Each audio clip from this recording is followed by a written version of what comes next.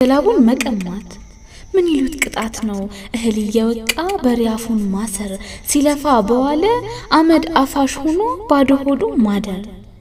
ታሪኩ ካልገባ ገበሬው አንተነ፣ በሬው ማለት እኔ፣ መሬት ማለት ሀገር፣ የጋራችን እቅፍ አንቺ ማለት ሀገር። ለመፈጠራችን እኩል እንዳላማጥሽ መንታ ጡት አጥብተሽ እንዳላሳደግሽ ዛሬ ባዳ ሆኜ እናቱ ሙታበት እንዳቀረቀረ ዜግነቴን ነጥቆ ኢትዮጵያ የሚኖር የሚል ስም ቀመረ። ህልምህ ከቅዠት ጋር እየተምታታብ አስቸገረህ አይደል?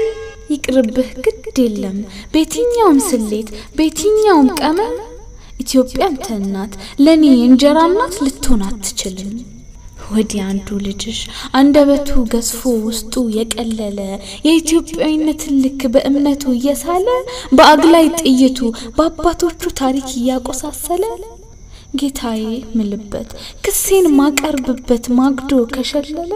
ለእናትነትሽ ለአገር ሰላም ብዬ አንገቴን መድፋቴ መፍራት ከመሰለ በእምነቴ ሲሆን ነብር ነው የምሆን አልንበረከክም።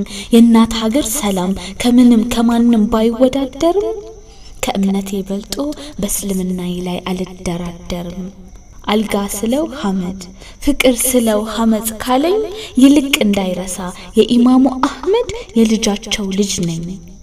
በፍቅር ማዕገር በእዝነት መሶሶ በአንድነት ጣራ ጎጆች ተቀይሶ በአባቶቻችን ብርታት በጀግንነታቸው ድንበርሽ ተከብሮ የኔም የእሱ አያት እኩል ደም አፍስሰው በሞቱላት ሀገር መስጊዶች ተስፋፉ፣ የሙስሊም ሱቅ በዛ፣ አክራሪ ምናምን ወዘተ ወዘተ ብሎ ጸብን መጫር በአብሮነታችን ክር የተሰፋች ሀገርን መተልተል ያሳፍራል አይደል?